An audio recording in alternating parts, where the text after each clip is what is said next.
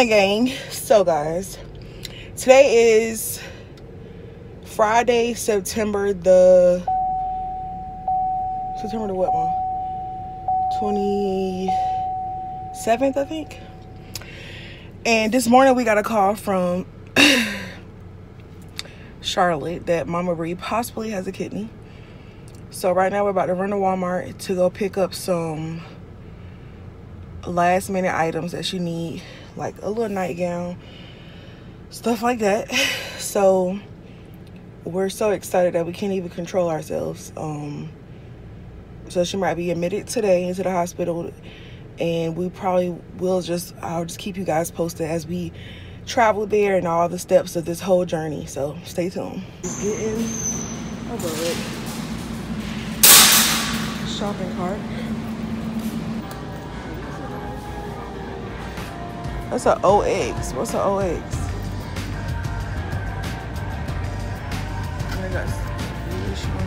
The black polka dot one not bad. Oh, it's a more six dollars. This one's cute. I'm sorry for what I said when I was sleeping. Well, guys, we just got the Let me pop your ball. the third call. We just got the third call. We're waiting for the fourth call. The third call, they were just letting us know that the blood is a match to the donor. And the next call is just a let us know that the biopsy went great. So we're on our way home, about to get ready to pack up this bag and make sure we're good to go. So y'all gonna see a lot of videos of us in the hotel, I mean in the hospital. I'm gonna show you guys the whole process. Anything you wanna say, mama?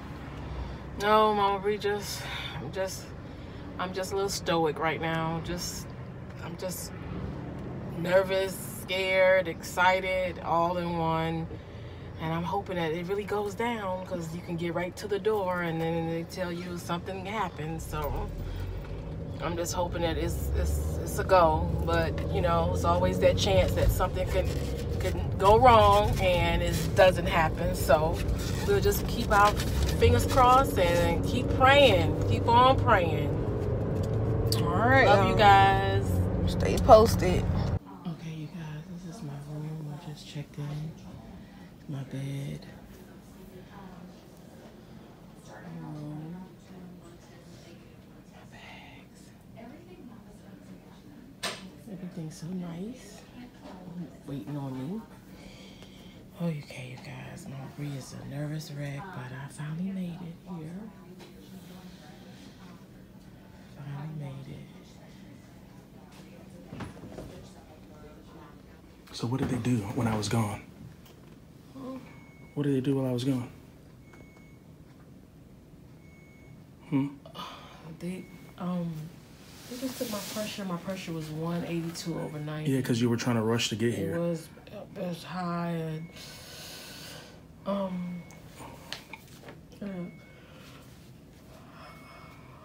what else did? It took my temperature. I had to urinate in a little hat In a so you hat. could measure how much Oh. you was urinating. What is that? Wow. Could you put that over there? So they to take a picture. It's just off of my license. Dang, they ain't playing up They just there. scanned it in, and she's talking about my visitor pad. I meant pad, pad, badge, pass badge. Dang. Oh.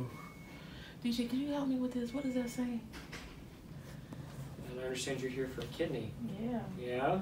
Been waiting a long time, huh? Yes. Yeah? All right. Um, what we're going to do is go through some medical history stuff, make sure we have everything, nothing's changed, and then I'm going to look at a couple different things. Got to check your bellies, and you have a PD cath, and look at some surgery scars, and then check some pulses in your legs, and then we'll talk about the surgery and answer any questions you have. Okay. How's that sound? Good. Here, we'll take that dialysis catheter out.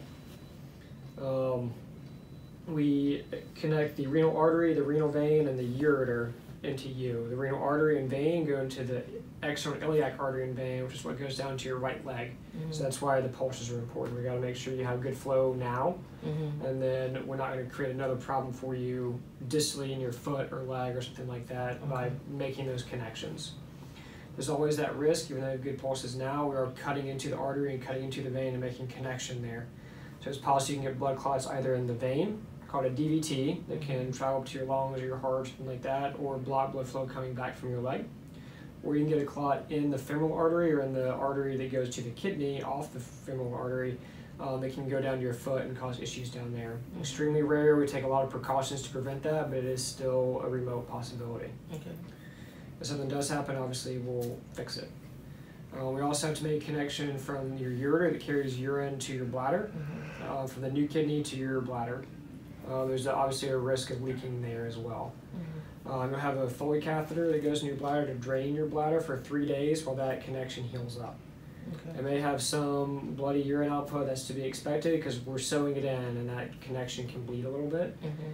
It is possible you can get a bunch of clots in there if you do some irrigation and things like that to um, address that. We put a special type of Foley in in case that does happen. Not typical, but it is a possibility. Okay. Okay. Um, we're obviously cutting into a couple different vessels, so there's, a risk of bleeding. We take great efforts to prevent you from losing a bunch of blood, but a blood transfusion is a possibility. Okay. Okay. The risk of blood transfusion is super minimal. Risk of HIV, hepatitis C, hepatitis B, all that stuff is somewhere in the neighborhood of one in several hundred thousand patients. Okay. Okay. So exceedingly rare, but a remote possibility. Okay. Okay. Um, like I said, you're going to have the catheter in for three days. You'll probably be here around four days if everything goes perfect. Uh, could be longer. Probably won't be shorter. Definitely won't be less than three. Okay. Okay. Um, just anticipate five-ish. And if it's quicker, great. If it's slower, then we're doing what we need to do to keep you and the kidney safe. Okay. Okay. Um, you talked about the immunosuppression. People have talked to you about that in the past. Uh, I'm not sure what regimen he's going to put you on. It didn't tell me. He didn't tell you when you were in here, but I'm sure he's got a game plan. Typically, it's an induction agent. There's two or three different ones that we use. You'll get it in the operating room, and then I. Mhm. Slow. Well, he diagnosed me a long time ago because um, they were trying to figure out what was going on with me. I kept swelling up. protein in the and- urine. Yeah, and, I, and every time I would urinate, it would just be real sudsy, Right. sudsy, and um, they finally figured out that what was wrong with me. But did I? They thought I had high blood pressure or diabetes, and none of I had none of the above. So Do you recall? Did he try certain treatments on you, steroids and other things uh, when it was diagnosed? I know I took CellCept CellCept. Okay. hmm um, for a little bit, and then I Cell donor, large man, um, around your age, um, who died of a stroke, so had risk factors. Uh, his kidney function, the tests were normal, um, but you know this is not a young, you know, pr- pristine donor. This is sort of a, if I would grade it, I would grade it as a B, quality kidney. Um, but we've biopsied it. It looks fine. It's pumping well, very well right now, uh, is my understanding. So we think it's a good kidney. Um, it could take a while for it to recover after transplant. You may need temporary hemodialysis. Do you have a fistula in your arm? Mm-mm, they back failed. up. They failed. So it shouldn't have been vas cath and surgery. Okay. And that can prolong your returning home if the kidney takes a while to, to work. Some of these kidneys can take a week, two weeks to recover. I've seen it. It's generally not very aggressive. I mean, Right. yours was there for many, many years before Right. it caused kidney failure.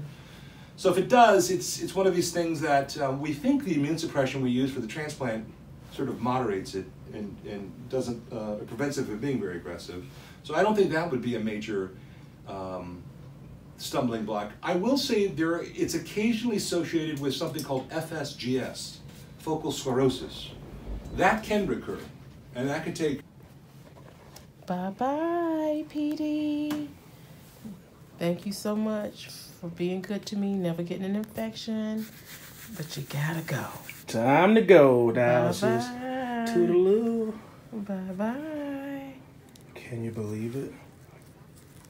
Can you believe?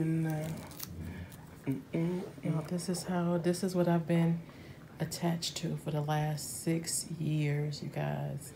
Let me show you something else. Let me just show you everything. Are you are you full now? Do you have? Yes. So are they gonna drain you? Yeah. She, she told me to let them know. Oh, so her stomach at this moment is full It's of full. the dialysis fluid.